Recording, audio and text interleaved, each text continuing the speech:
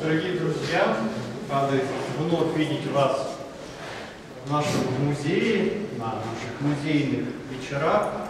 Сегодня нас ждет особенная программа, А, но поскольку э, это уже заявленный концерт, но поскольку мы в музее, то это не просто концерт, где мы слушаем, но э, надеюсь, что мы что-то и узнаем.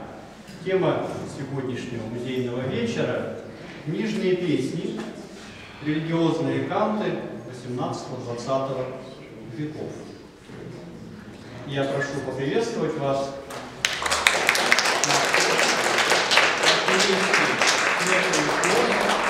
под управлением Марины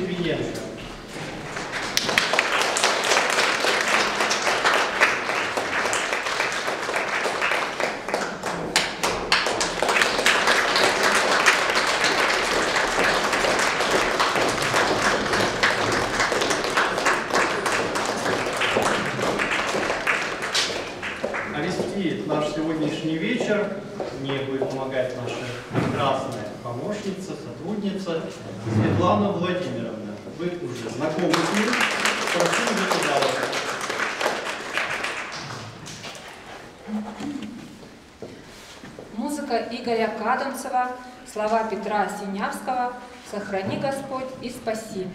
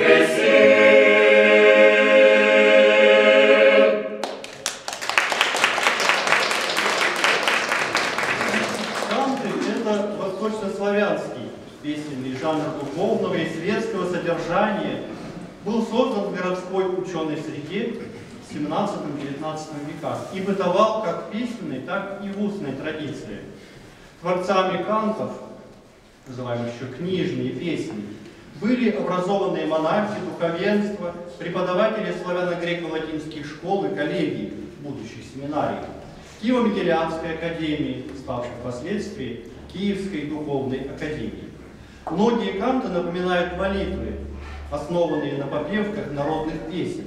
Они очень выразительны. Канты так основательно прижились в православной народной среде, что их пели в быту, в дни церковных праздников и даже в церковном обиходе. Слова Аксакова, музыка неизвестного автора. Обработка регента архиерейского хора Псково-Печерского монастыря диакона Александра Амирханова. Всеночная в деревне.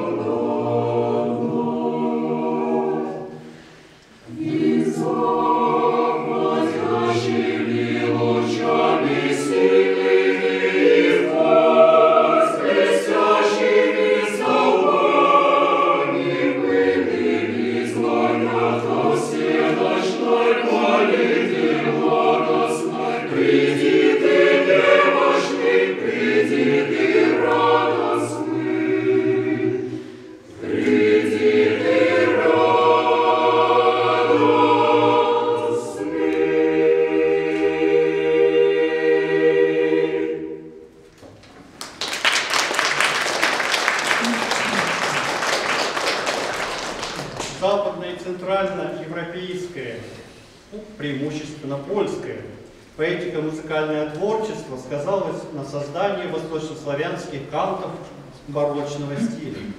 Этому способствовал рост уровня образования и развития школьного театра, освоение хорового многоголосия и ортесного пения. Значительное место в репертуаре кантов занимали произведения, посвященные Пресвятой Богородице и ее чудотворным иконам из разных монастырей и церквей. Божьей Матери, сложенный святителем Нектарием Эгинским. Огни Парфены. Мария, Дева чистая.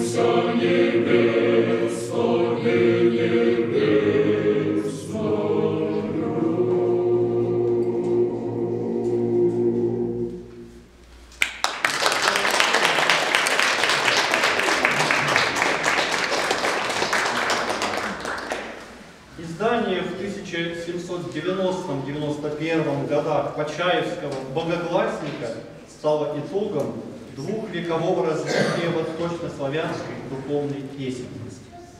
Вошедшие в это издание 250 кантов отразили в песенно-поэтических формах своего времени различные духовные темы. От праздничного ликования до сострадательной скорби и молитвенного покаяния. Ранние православные канты написаны на тексты святителя Дмитрия, митрополита Ростовского, иеромонаха Епифания Славенецкого, иеродиакона Герасима Парфеновича. Многие из монашествующих авторов остались безымянными.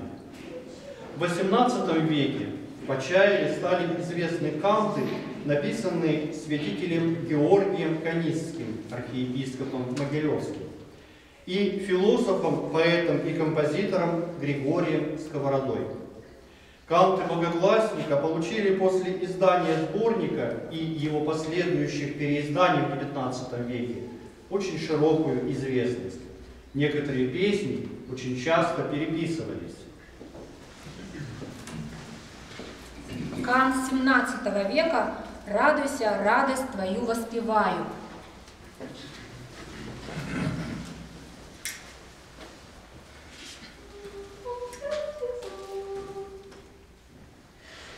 Канты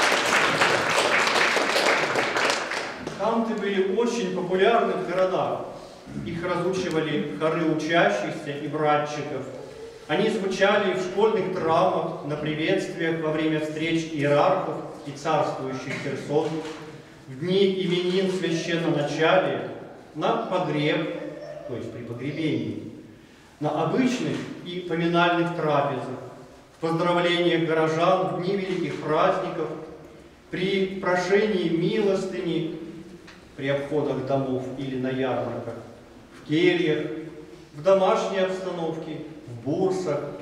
Они звучали везде. Первой половине XVIII века название «кант» по отношению к сочиненной книжной песне стало общепринятым. Слова Алексея Плещеева, музыка Петра Ильича Чайковского. Легенда. Был у Христа младенца сад.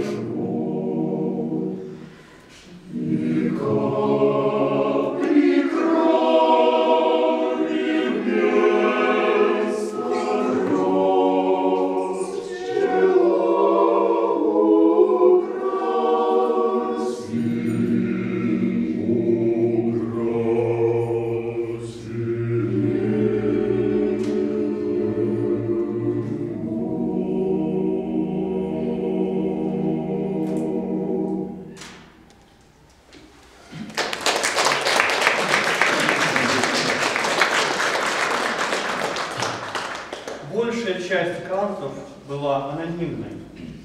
Среди авторских кантов XVIII века можно назвать произведение архиепископа Феофана Прокоповича, сторонник реформ царя Петра I, писатель и ученый, до переезда в Санкт-Петербург в 1716 году был преподавателем и ректором Киево-Могилянской академии. От Кантовой Петровской эпохи тянутся нити к лирике ранних романсов и песен городского типа. К лирическим, портесным, другими словами, многоголосным концертам.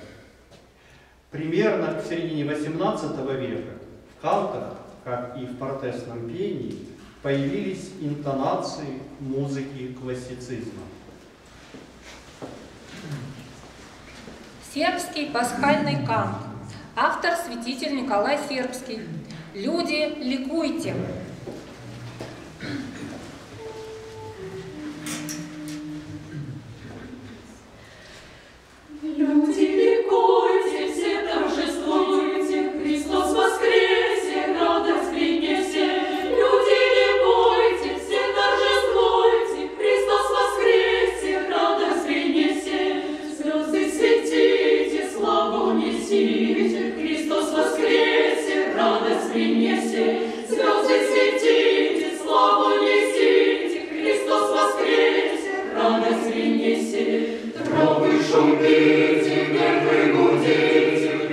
Воскресе, радость принесе. Ангелы пойте,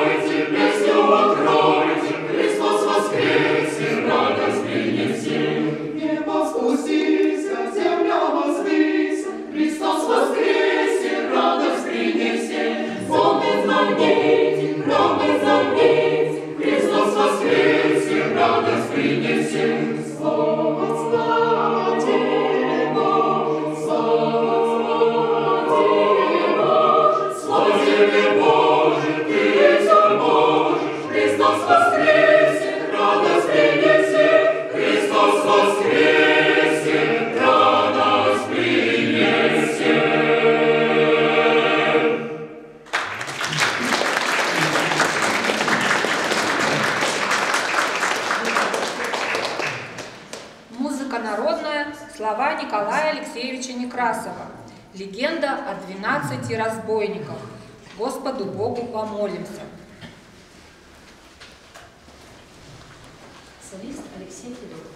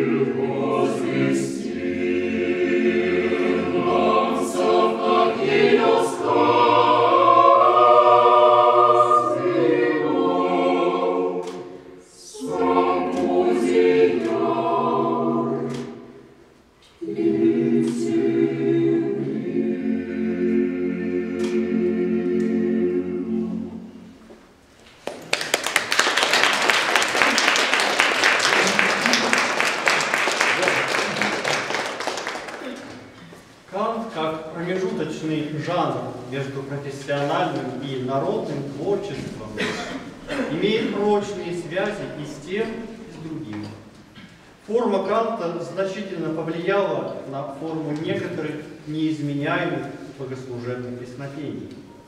Есть примеры, когда мелодии бывших кантов становятся богослужебными песнопениями, такими как Херувимская, Милость мира, Достойно есть и прочее.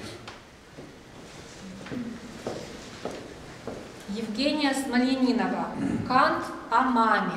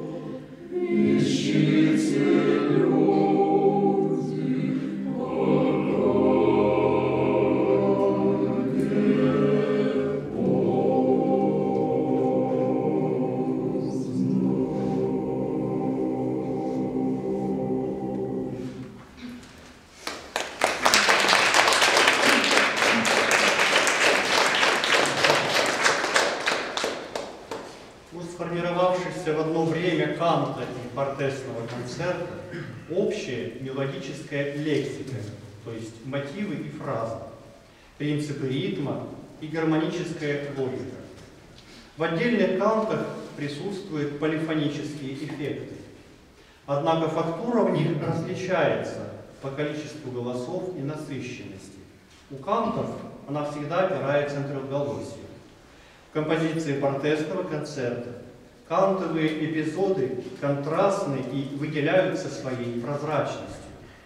Плотности всего хора как бы противопоставляется трехголосие канта. Возникает типичный для эпохи барокко фактурный и динамический контраст. Тут ансамбль, громко, тихо, плотно, прозрачно. Принцип кантовой фактуры, то есть соединение движения верхних голосов в терцию с басом, повлиял на традиционное трех- и четырехголосие Киево-Печерского напева, время формирования которого доподлинно неизвестно. Вероятно, трехголосие возникло в 17 а четырехголосие в 18 веке. Киево-Печерский напев представляет собой не свободное сочинение, а гармонизацию по правилам кантовой фактуры, поскольку в партии тенора сохраняется традиционный одноголосный напев. Слова из «Богогласника», музыка Екатерины Аветисян. «Восстание».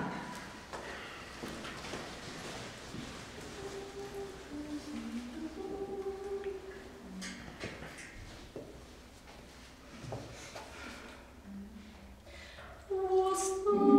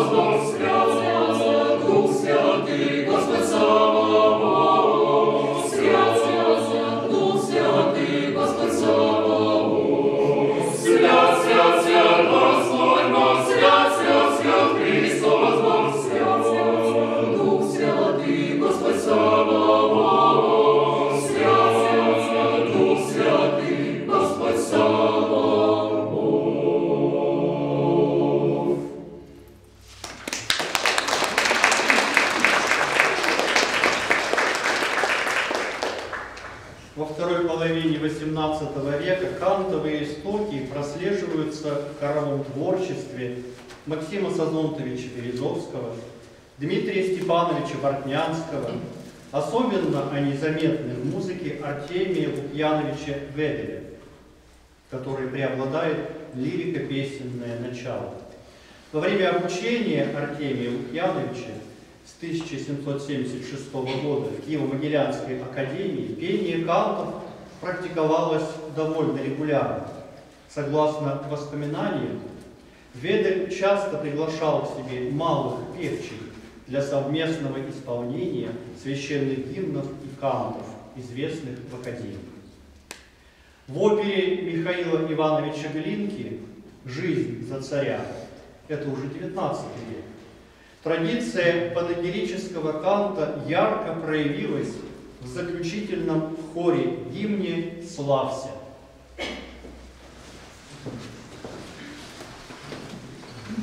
Слова и музыка Дмитрия Горкави «Земля святая», землю русскую святую славословим купно.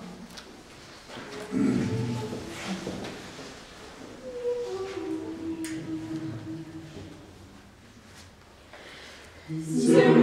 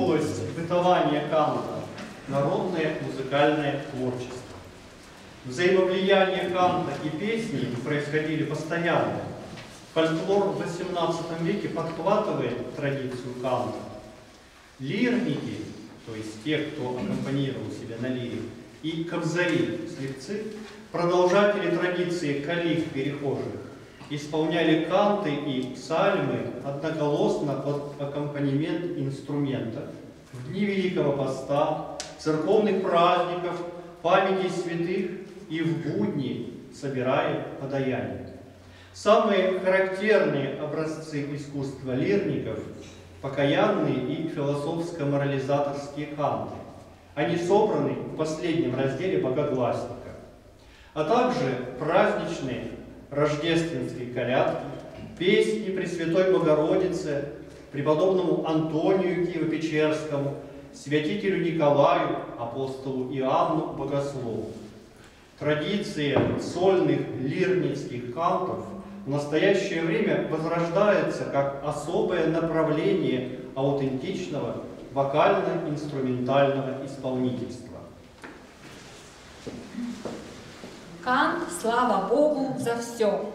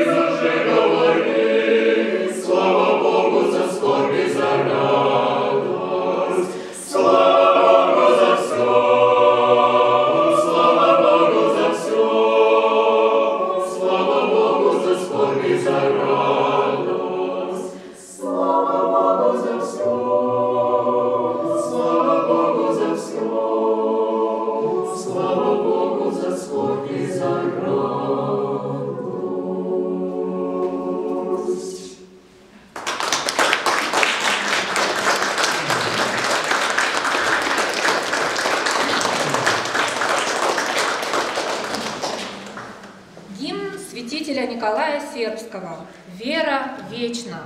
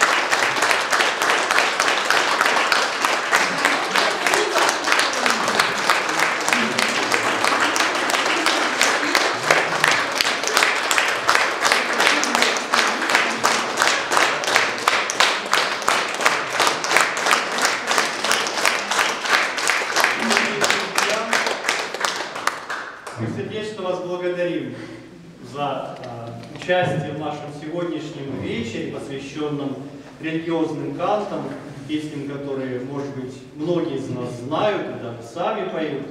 И я предлагаю еще раз поблагодарить за замечательное выступление